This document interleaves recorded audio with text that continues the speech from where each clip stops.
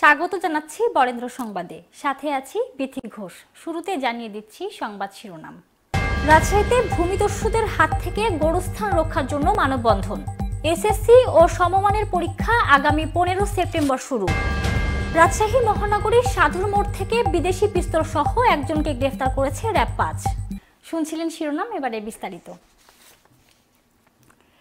রাজশাহী মহানগরীর বোয়ালিয়া থানার রামচন্দ্রপুর এলাকার নাজিরুল ইসলামের ছেলে আলরিয়াদের বাড়িতে অভিযান চালিয়ে একটি বিদেশি পিস্তল, একটি ম্যাগজিন, তিন রাউন্ড গুলি, একটি লোহার হাতুড়ি, একটি মোবাইল ফোন উদ্ধার করা হয়।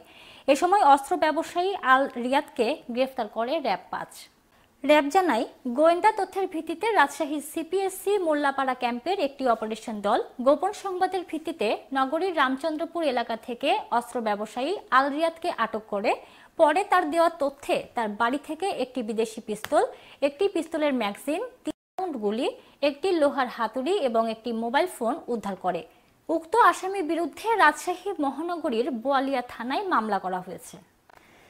রাজশাহীর গোদাগাড়ির পাকড়ি ইউনিয়নের পাকড়ি দক্ষিণপাড়া মদনবাড়িয়া গোরস্থানের জমি রক্ষায় এলাকাবাসী মানববন্ধন ও বিক্ষোভ সমাবেশ করেছে।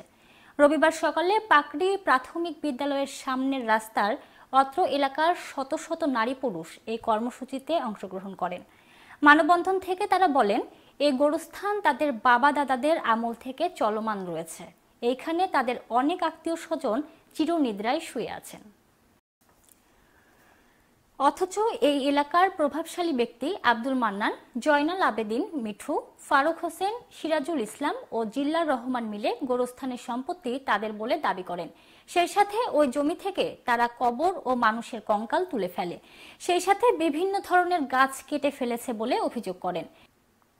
এছাড়াও তারা সন্ত্রাসী বাহিনী নিয়ে এসে জমি দখল সহ এলাকাবাসীকে ভয়ভীতি দেখাচ্ছেন বলে জানান তারা। মানববন্ধন ও বিক্ষোভ সমাবেশে সভাপতিত্ব করেন অত্র গোরস্থান পরিচালনা পর্ষদের সভাপতি সাইফুল ইসলাম। উপস্থিত থেকে বক্তব্য রাখেন গোরস্থান পরিচালনা পর্ষদের সাধারণ সম্পাদক জালাল উদ্দিন সহ এলাকার শত শত নারী পুরুষ। ইউপি সদস্য গোলাম রব্বানি বলেন, এ গোরস্থান কতদিন পূর্বে তৈরি হয়েছে তা জানা নেই। তার বুদ্ধি হওয়ার পর থেকেই শুনে আসছেন এই গোরস্থান শতাধিক বছর পূর্বে তাদের পূর্বপুরুষগণ তৈরি করে গেছেন। সেই সময় থেকে তারা এখানে তাদের আত্মীয় স্বজনদের কবর দিয়ে আসছেন। এসএসসি দাখিল ও সমমানের পরীক্ষা পনেরো সেপ্টেম্বর শুরু বলে জানিয়েছেন শিক্ষামন্ত্রী ডাক্তার দীপুমণি রবিবার সচিবালয়ে এক ব্রিফিংয়ে এ তথ্য জানান তিনি। আগামী নভেম্বরের শুরুতে এইচএসসি পরীক্ষা শুরু করা হতে পারে বলেও জানিয়েছেন শিক্ষামন্ত্রী। ডাক্তার দীপুমণি বলেন, বন্যায় ক্ষতিগ্রস্ত শিক্ষার্থীদের বই চব্বিশ জুলাইয়ের মধ্যে দেয়া হবে। এবারের এসএসসি ও সমমানের পরীক্ষা উনিশ জুলাই শুরু করে ছয় জুলাই শেষ করার কথা ছিল। কিন্তু জুনের মাঝামাঝি সময়ে সিলেট অঞ্চল ও উত্তরের কয়েকটি জেলায় ভয়াবহ বন্যার কারণে গত সতেরো জুন পরীক্ষা স্থগিতের ঘোষণা দেওয়া হয়। প্রধানমন্ত্রী শেখ হাসিনার কারাবন্দী দিবস উপলক্ষে রাজশাহী মহানগর আওয়ামী লীগের আয়োজনে গণতন্ত্রকে শৃঙ্খলিত করার অপপ্রয়াস শীর্ষক আলোচনা সভা ও দোয়া মাহফিল অনুষ্ঠিত হয়েছে। শনিবার রাত আটটায় কুমারপাড়াস্থ দলীয় কার্যালয়ে আয়োজিত আলোচনা সভা ও দোয়া মাহফিলে প্রধান অতিথি হিসেবে উপস্থিত থেকে বক্তব্য দেন আওয়ামী লীগের সভাপতিমণ্ডলীর সদস্য ও রাজশাহী সিটি কর্পোরেশনের mayor A H M Khairuzzaman Liton.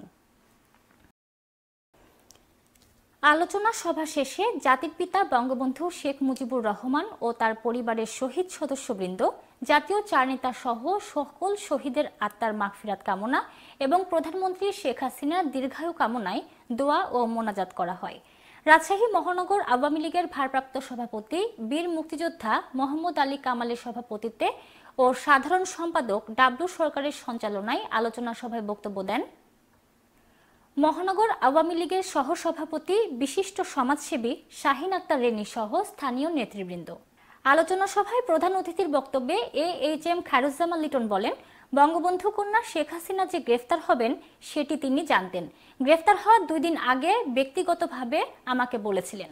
গ্রেফতার হওয়ার পূর্বে সে কারণে লিখিত একটি বিবৃতি তিনি লিখে রেখেছিলেন। দেশের নাগরিক, স্বাধীনতার পক্ষের মানুষ, মুক্তিযোদ্ধাগণ ও আওয়ামী লীগ ও সহযোগী সংগঠনের নেতাকর্মীদের কি করতে হবে, সে নির্দেশনা সেখানে সুস্পষ্টভাবে দেয়া ছিল। গ্রেফতার হয়ে এগারো মাস কারাবন্দী ছিলেন তিনি। নাটোরের গুরুদাসপুরে সিধুলাই ও স্বনির্ভর সংস্থায় কর্মরত প্রয়াত বীর মুক্তিযোদ্ধার সন্তান সুপ্রকাশ পালের বিরুদ্ধে সংস্থার নির্বাহী পরিচালকের মদদে সংস্থার কতিপয় স্টাফের আনিত মিথ্যা মামলা ও অভিযোগ প্রত্যাহারের দাবিতে মানববন্ধন কর্মসূচি পালন করা হয়েছে। রবিবার দুপুরে গুরুদাসপুর থানা চত্বরের প্রধান সড়কে আমরা মুক্তিযোদ্ধার সন্তান সংগঠন উপজেলা শাখার ব্যানারে এই কর্মসূচি পালন করা হয়। মানববন্ধনকালে বক্তব্য রাখেন প্রয়াত বীর মুক্তিযোদ্ধা সত্যরঞ্জন পালের সন্তান, ভুক্তভোগী সুপ্রকাশ পাল, বীর মুক্তিযোদ্ধা জীবন সরকারের সন্তান জাহিদুল ইসলাম ও সোহেল। এ সময় বক্তারা বলেন, চাকুরি থেকে অব্যাহতি চাওয়ায় বৎসরাধিক কাল ধরে সুপ্রকাশ পালের বকেয়া বেতন আট লক্ষাধিক টাকা না দিয়ে হঠাৎ করে সংস্থার নির্বাহী পরিচালক আবুল হাসনাত মোহাম্মদ রেজওয়ান সাহেবের মদদে তার কিছু আত্মীয় স্বজন ও সংস্থার কতিপয় স্টাফ সুপ্রকাশ পালের বিরুদ্ধে মিথ্যা মামলা দায়ের করেছেন যা অভিসন্ধিমূলক। এর মাধ্যমে সংস্থার কর্তৃপক্ষ সুপ্রকাশ পালের পরিবারকে হেয় প্রতিপন্ন করার চেষ্টা চালিয়েছেন মাত্র। তারা অনতিবিলম্বে সুপ্রকাশ পালের বকেয়া বেতন পরিশোধ ও বীর মুক্তিযোদ্ধার সন্তানের নামে সংস্থার দায়েরকৃত মিথ্যা মামলা ও অভিযোগ প্রত্যাহার ও সুষ্ঠু তদন্ত সাপেক্ষে দ্রুত সমাধানের দাবি জানান প্রশাসনের কাছে।